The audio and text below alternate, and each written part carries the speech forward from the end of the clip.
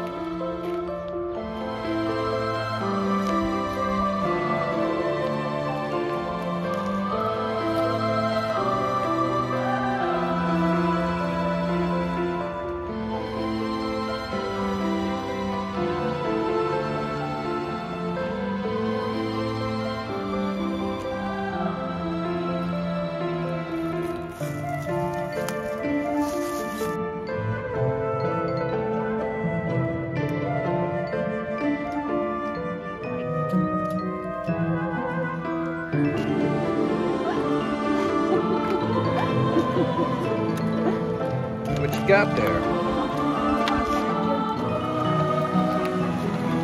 So that that's what we we chose to bring, huh? I brought. Oh God! Oh God!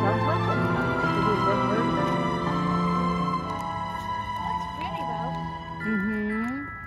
We're not going to think anything of it. It's not an open.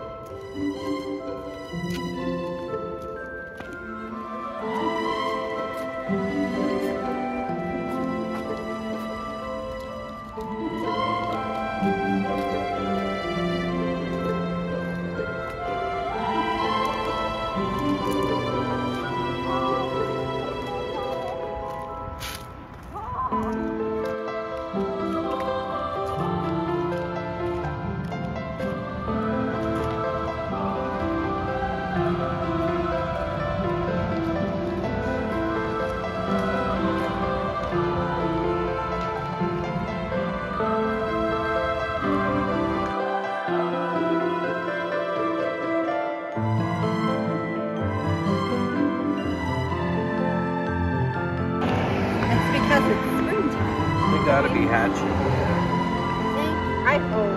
Yeah, I think so. Egg. Egg. Egg. Egg. Egg. There, brother.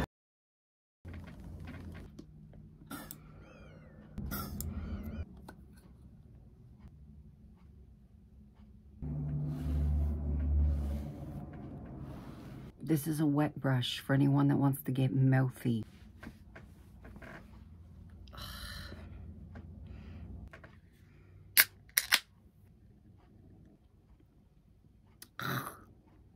Right after brushing my teeth. I have a PAP in less than two hours. I have to be there in less than two hours. And um, as I was getting dressed, I realized that I didn't shave my legs. But I'm just going to tell myself, uh, this isn't the leg hair doctor. I did shave my armpits and wash my ass. So...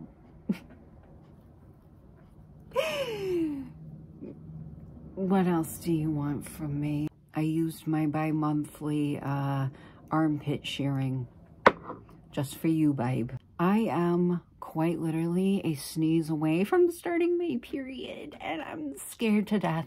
Do I know that factually? Do I have that on a calendar? No, because I don't have birth control right now. I haven't had it in probably going on two months.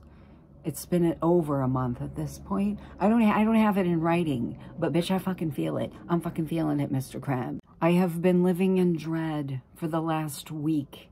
the last week that I'm gonna sneeze and there she's gonna fucking blow. Like I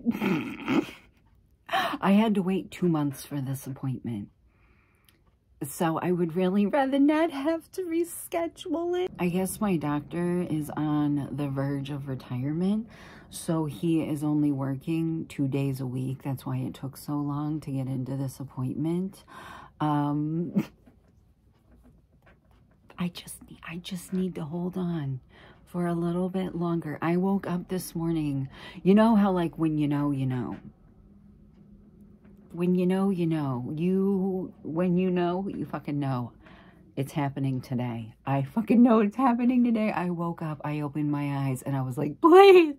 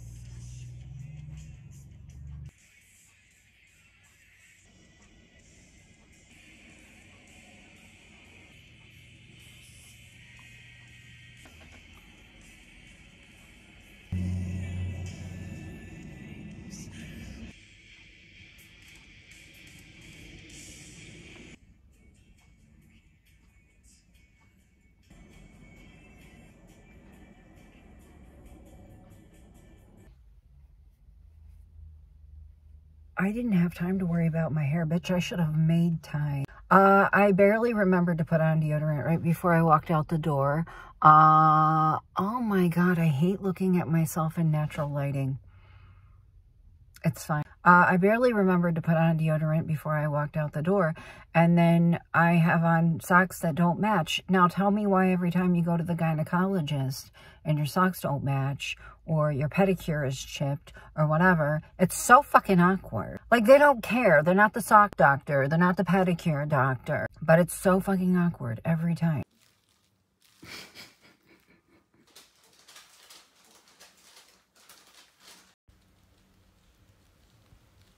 Sorry, I just, I can't fucking breathe. I actually think that I might have to use my short acting inhaler.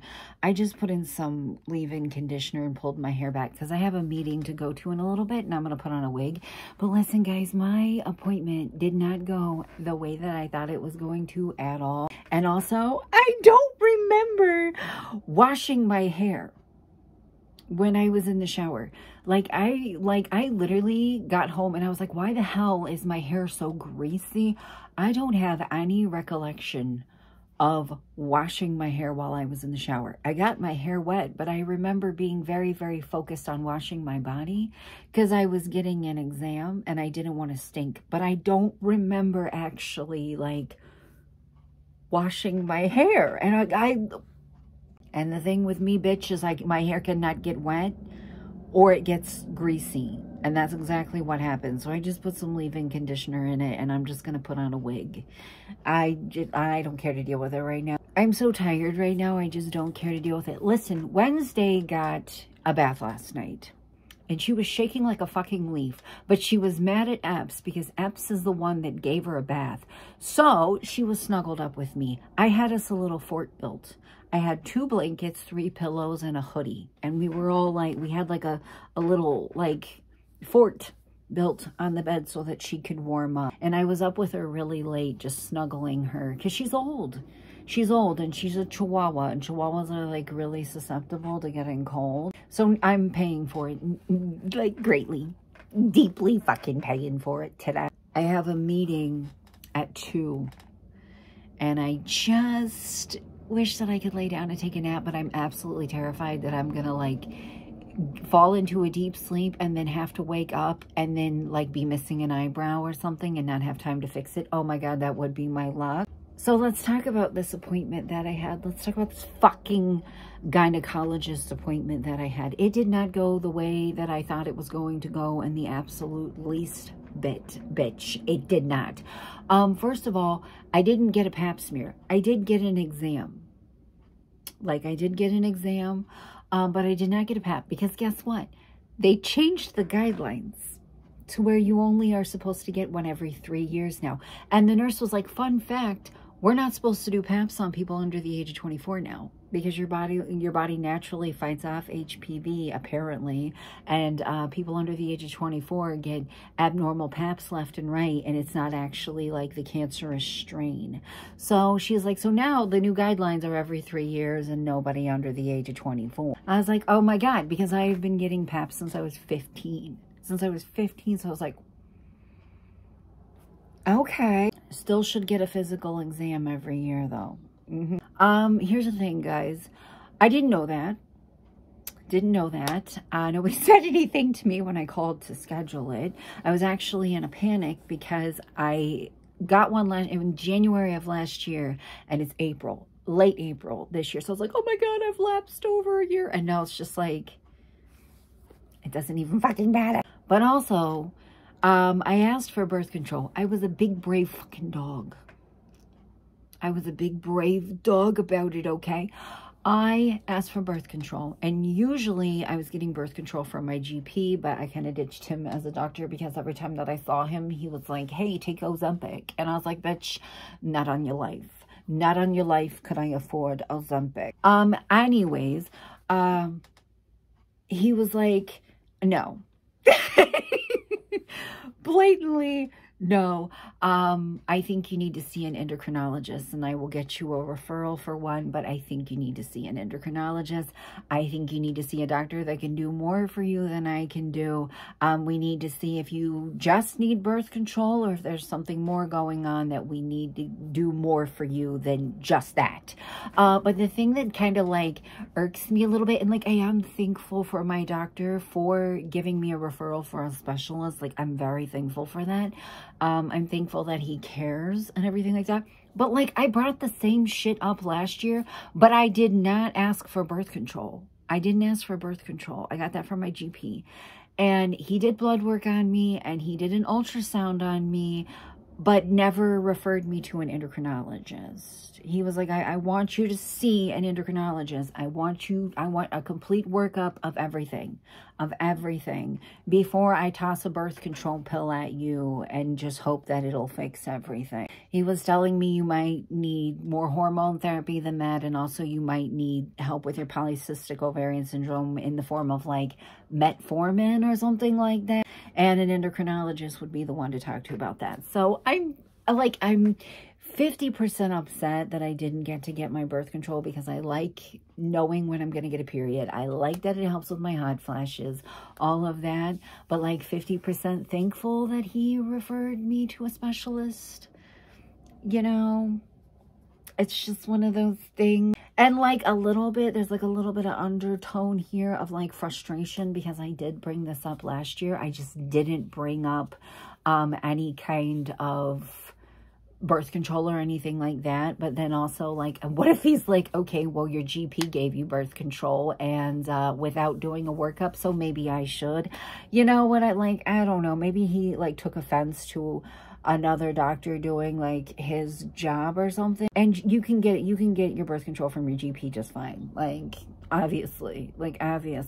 But I don't know. Like he, he referred me to an endocrinologist I'm waiting for them to call me. Oh my God, that hair on my on my neck is is growing back. That's my that's my uh, karma hair. I used to make fun of my mom for always having a chin on her or a chin hair. And I have a neck hair that grows back no matter how many times I pluck it, wax it, shave it. The bitch always comes back in the exact same spot. But that, I, I did not expect that appointment to go the way that it did. I did not expect to get there and have a nurse look at me and say, oh, by the way, you're not getting a pap smear. We don't do pap smears yearly now. And I did not expect to ask my gynecologist for birth control and be told, no, you need to see a specialist for your hormones. But I guess that's, we got to start somewhere. We got to start somewhere. He also asked me if I ever had a mammogram, and I was like, no. Um, I'm 34, I'm almost 35, and he's like, well, within the next couple of years, we're going to have to look into you getting one. I just want to hold it off as long as possible. That sounds horrible. But yeah, that's what's happening. I had my exam. I had my look looked at it, exam, squished around on my on my Scotie's exam. Uh, talked to him about my birth control, and, and he said he wants to make sure that um, birth control is, is sufficient. And he told me, like, because I told him, I said, I haven't had birth control in over a month. And he said, that's great, because when you see this doctor, they're going to want to do, like, a workup of your hormones, like, in their natural state, not being influenced by anything. And a birth control would be an influence on that. But still though, guys, I would love to not be sitting around sweating my ass off all the time. I just, that would be so great. I have a meeting at 2 and it is now noon and Epps just went to the gym and then as soon as he gets home I got to swing by the school and pick Mr. D up and then go to the meeting it's not it's a meeting with his legal advocate we check in with her every two weeks and uh, maybe then I can come home and fucking go to sleep. As soon as I got home, Epps was in the kitchen making lunch and I had to run a copyright check on um, the video that I took of me getting ready to make sure that none of the music that you can hear me listening to was going to get me a strike or a claim. So I just want to lay down. I just want to lay down. All right, Epps is going to be home any minute now, and then I'm going to go get D, and we're going to go to this meeting, and I'm going to start a new vlog. But listen, I have one last thing to bitch about, and I'm going to bitch about it. We had this discussion yesterday, earlier in this vlog. I am not paid enough to not be, you know, feral, you know. Um, anyways, anyways, listen, EA announced like almost a month ago that the Bloomin' Room kit, which is a little $5.99 decoration kit, was going to be free in the upcoming weeks. And everybody had this theory, oh, it's going to be free for Earth Day. Because, you know, Earth Day and its plants, it wasn't.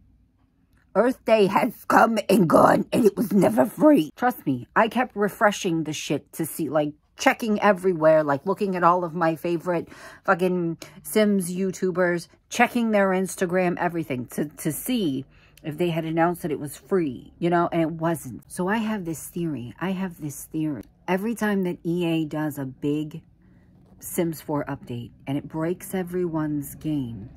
They throw something at us to try to pacify us, like a free pack, like a free kit, like a huge sale where everything is marked down 60%. The last big update that they did broke most people's games. And what did they do? They had a sale. And they also gave away my backyard stuff for free. So I have a theory they're planning a big update that's going to potentially break everybody's shit. So they're like, let's just throw the blooming room kit at them. So they'll shut the fuck up. That's just my theory though. Because if it wasn't free for, for Earth Day, it's probably going to be that. Anyways, anyways. Every time they announce something's going to be free, I just clench my asshole and be prepared to not be able to play my game for a few days. Anyways, I'm going to end this vlog because I have to go get him and start a new one because it's getting too long. And also, I need to do something about my fucking wig. I'll see you tomorrow. Bye.